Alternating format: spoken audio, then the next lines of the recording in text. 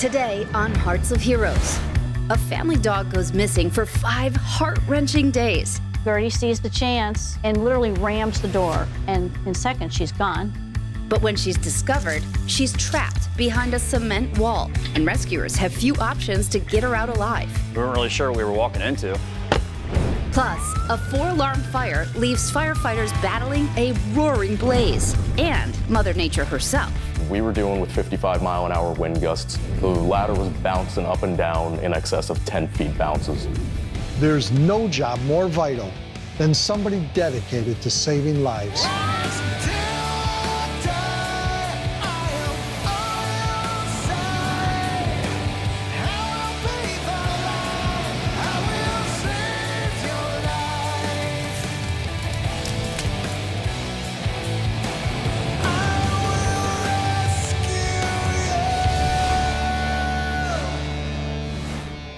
Ever lost a pet? Many of us have, and we know that feeling. It can trigger fear and panic. But these emotions were only amplified when one family finally found their lost dog, but it was trapped behind a concrete wall with no escape. Unable to reach their precious pet, the family turned to their local fire department. But after five days of being trapped, would rescuers reach her in time? Gertie sees the chance and literally rams the door. And in seconds, she's gone. She didn't come back. Five days without water, a dog would be so dehydrated they could die. I remember the call coming in saying that there was a dog stuck behind a wall. We knew that none of us were going to fit down there. In the southwest corner of Ohio sits Cincinnati, the third largest city in the state. People who live here are proud of their city and the role that it's played in the history of heroes. And this is on full display at the Cincinnati Fire Museum, which is dedicated to the city's unmatched historical role in firefighting and life saving. In 1802, lawmakers required all males between 16 and 50 years old to respond to any and all fire calls. And in 1853, Cincinnati became the first fire department in the country to pay their firefighters. It's safe to say that saving lives is in this city's DNA. Third grade, I won a coloring contest, and the prize was to get pictures on a fire truck. And I stood on it, and ever since that day, I knew that that's what I wanted to do. And after achieving her dream, Jennifer Atkins learned not every day on the job would include fighting fires. My name is Connie Frick, and I live here in Northside in Cincinnati, Ohio. We have had Gertie for about nine years, and she was almost a year old when we got her. She had been a street dog before the rescue got her. She's a very sweet dog, just loves to run away. And it was this wandering spirit that would lead to days of panic and worry for her owners, Lynn and Connie. It was just a regular day. Lynn had gone to the store, and as she's coming in the door with groceries in hand, Gertie sees the chance and literally rams the door. But she hits it so hard, and Lynn didn't have a free hand to grab her, and in seconds, she's gone. This wasn't the first time that Gertie had run away, but she had always returned. It's thundering, and she's terrified of storms, so ah, she'll come back. She didn't come back. Urban areas are very dangerous for a dog that's loose because of traffic. They get hit by cars quite frequently. Other animals can attack them. I was sitting out here on the front porch waiting for her and whistling for her, thinking she's coming back. She didn't come back. That really surprised me. She left on a Tuesday, and we started putting up signs Wednesday afternoon. If your dog runs away or gets lost, always put up missing dog posters with a clear photo and contact info. At least three or four people had said, well, you know, Connie, after like two or three days, there's a really good chance she's not making it back. It was getting hotter every day. We were in the woods looking for her, calling for her, whistling for her. I was definitely worried. I was getting really concerned because the temperature just kept going up and up, and there had not been any rain since Tuesday. Five days without water, a dog would be so dehydrated that they could die. As the search escalated, an unusual call came in to the Cincinnati Fire Department. We're sitting in the station and the call comes in and everybody looked at each other like, okay, wait, this says that there's a dog trapped in a wall. We weren't really sure what we were walking into. Coming up, they found Gertie, but she's trapped and her health unknown. Rescuers are in a race against time. We knew that none of us were going to fit down there. And later, a raging inferno puts firefighters on the brink. We were going to die up there if it wasn't for us getting off the roof. But first, a tip for dog lovers everywhere. In the event of pending or potential flooding, there are some precautions you can take to ensure your pet's safety. If you can't take your pet with you, move all your pet's belongings to a safe, dry place and make sure they are wearing the proper identification in case they get separated. You can even keep a toy nearby to help them stay calm. Pets are family too, so let's make sure they're taken care of and have the best chance of making it through a disaster safely.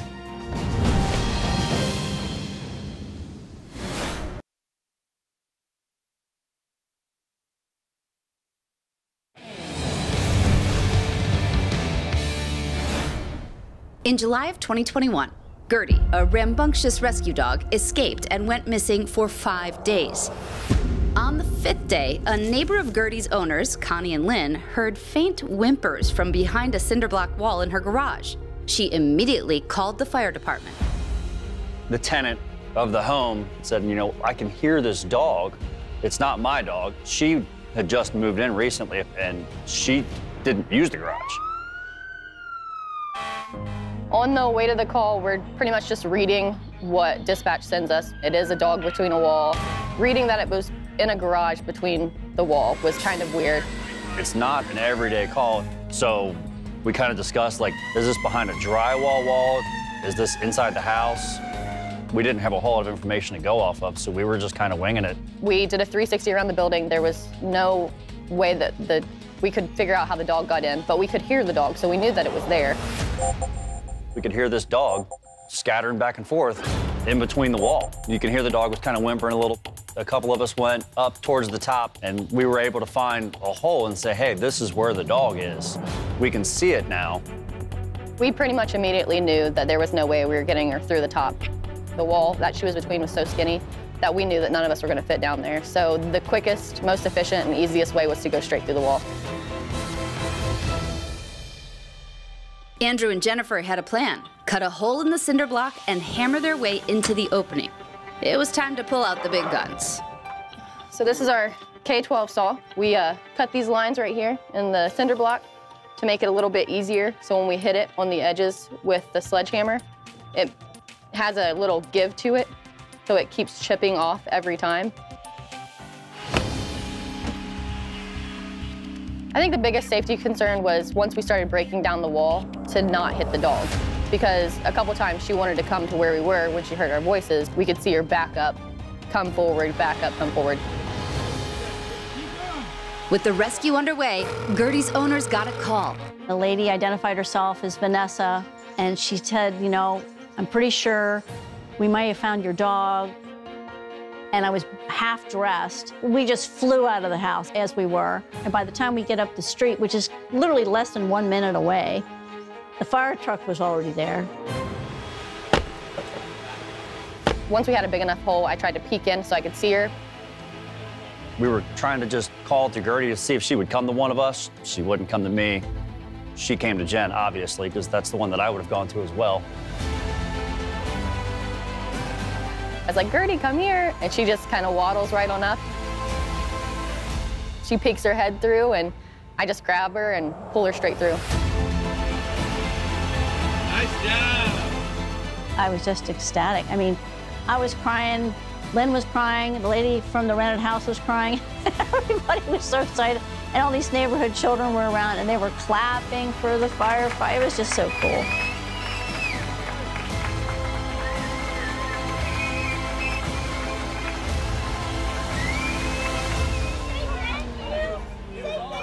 The pup was tired, thirsty, and hungry, but she was okay. It was totally surreal. I mean, we got calls from friends in other nations living in Peru, living in, in Canada, living in India. I saw you guys on the news. Connie and Gertie recently had the chance to reunite with Jennifer. Come on, Gertie, let's go. Come on, let's go. Gertie! Let's Hi! Come here! Hi! Hi, honey! This is the woman who saved you, Gertie. Hi! Hi, honey! Oh man, are we grateful to you forever and ever and ever. You're so cute. We're so grateful in every sense of the word. I'm just forever indebted to them and admire them. She's my first rescue. Your first animal rescue? Yeah, yep. This was a first for me. I had never even got one of the cat in the tree calls. So having this one come in and getting to do what we did was an awesome, awesome experience. One for the books. Coming up, firefighters battle a once in a generation blaze. I knew at that point we had a fire that no one in this area has encountered ever before.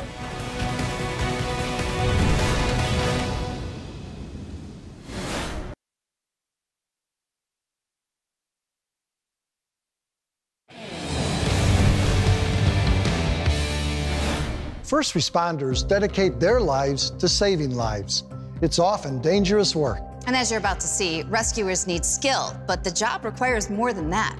Quick thinking and fast action can often make the difference between life and death. I was alerted. He said he saw a small fire on top of the roof. We're climbing up a ladder. It's windy conditions, icy. The fire actually started to come around us on our left and right side. At that point, get off the roof. Get everybody off the roof. That's when my heart sank and I knew we had a fire that no one in this area has encountered ever before. West Hazleton, Pennsylvania, a small borough with about 4,500 residents. In the 19th and 20th centuries, it was a coal mining community, attracting thousands of immigrants coming from all over Europe to work the mines. It's a coal region, um, a lot of older homes, a lot of older people. We still have those small, tight-knit communities um, where everybody knows their neighbor. And one of the staples of this community is the Wise Market. Wise is a family-owned company. Um, it started about 1912, so a very family-based retail store. In December of 2021, a particularly brutal winter's day almost destroyed this market. We deal with a lot of freezing temperatures, high wind conditions, snow squalls. Conditions could deteriorate very rapidly when it comes to winter weather. I remember talking to everybody about the expected weather forecast and the high winds, and I made the comment that, God forbid there was an incident going on this evening, it wasn't going to be the best outcome. That evening, manager Dylan Poncari was working the night shift at the market. I was dealing with some weather-related issues. Um, it was just very windy, you know, picking things up outside, the garbage cans were flipping over. I was standing right here when a utility worker walked in. Uh, he said there was a small fire on the roof, and I immediately made my way to the back of the store where I met him. This is where I met him. I opened the receiving dock door, and smoke started filling in. And the second I did see that smoke, I had the store immediately evacuated.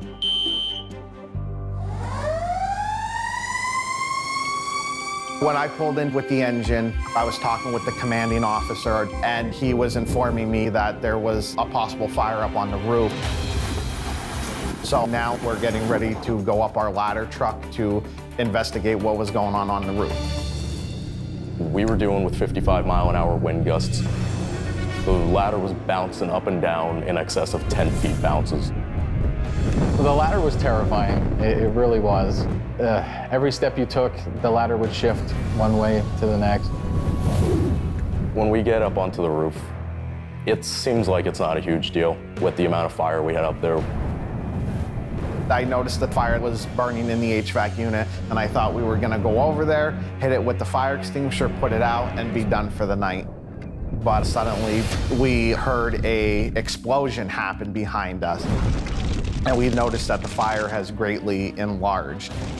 And we had some embers coming our way, and the wind was highly intensifying it. That's when my heart sank, and I knew at that point we had a fire that no one in this area has encountered ever before. Coming up, firefighters' lives hang in the balance. And at that point, get everybody off the roof.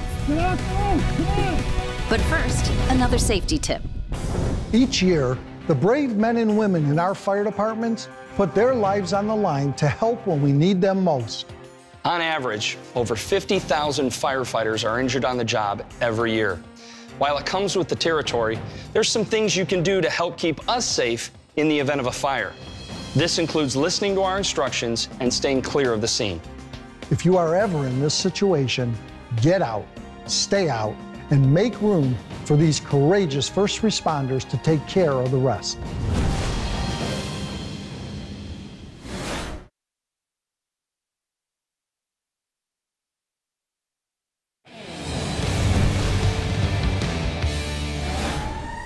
In December of 2021, West Hazleton, Pennsylvania firefighters responded to a blaze on the roof of a supermarket. They had to brave 55 mile per hour winds while battling that blaze, an inferno that was fueled by embers and a broken gas line. I've never been in a fire situation like that with, with the intensity of the winds, the size of the building, the amount of fire we had. I knew at that point this was going to be a major incident that we were going to need multiple and outside agencies to come in and assist us, and we had a battle on our hands. I called for a fire hose to bring up to the roof. I had the fire hose, and as I was moving forward with the hose line, I ran out of hose. As I was standing my ground, the wind and the intensity of fire was just blowing the water back at me. We could see the fire, but the water wasn't hitting it. We were getting bombarded with smoke, pieces of roofing. It was just the losing battle. The fire's increasing in size, it's being fed by the wind. It's coming at us in all different ways that we weren't expecting. You can feel the heat from over 30 feet away. You can feel the fire in the wind. At that point, it's like, get off the roof, get everybody off the roof. At that point, we were going to die up there if it wasn't for us getting off the roof. There's no building worth the life of a firefighter or anyone else for that matter. Anytime there's a disaster like this, the first thought, and most important, is that of safety. How can we do this in the safest possible way? Get off the roof! Come on! All units As firefighters made their way to the ground, additional units arrived with what are called aerial master streams. We can use aerial devices to elevate the water stream so that we can shoot it down into the seat of the fire to effectively put it out so that our personnel aren't directly attacking the fire with a hose line and putting their lives on the line. More than three hours later, firefighters finally gained the upper hand. We knew we had control of the situation when the fire started darkening down and you couldn't see it really whipping above the roof line. They saved the structure of the supermarket, but the fire and water damage was immense. And before the flames were even extinguished, our sponsor, BELFOR, was on the scene to begin the restoration process. When I first entered the store, there was about three to four inches of water. A lot of the water was heavily contaminated with soot and some of the byproducts from the roof being on fire. So we needed to make sure that we got it out the right way. We were able to get all the water out, food sources out, any leftover food out within two weeks. The biggest challenge for this project was getting the store back open. This is the closest grocery store within a 30 mile radius. So a lot of the people depend on this particular store for their grocery shopping weekly. Six months later, they reached their goal, and Wise Market celebrated their grand reopening. I could not wait for us to reopen. Um, it, it's home. We built a strong family and a good team here in West Hazleton, and everyone was just so excited to get back open. And it's all thanks to the hard work and heroism of everyone involved. We were super happy to be able to help them get back up and running, and certainly is a great partnership. Considering all the challenge we were faced with that night, they did a great job. And it was made possible through the effort of every single first responder that we were able to accomplish what we did that night.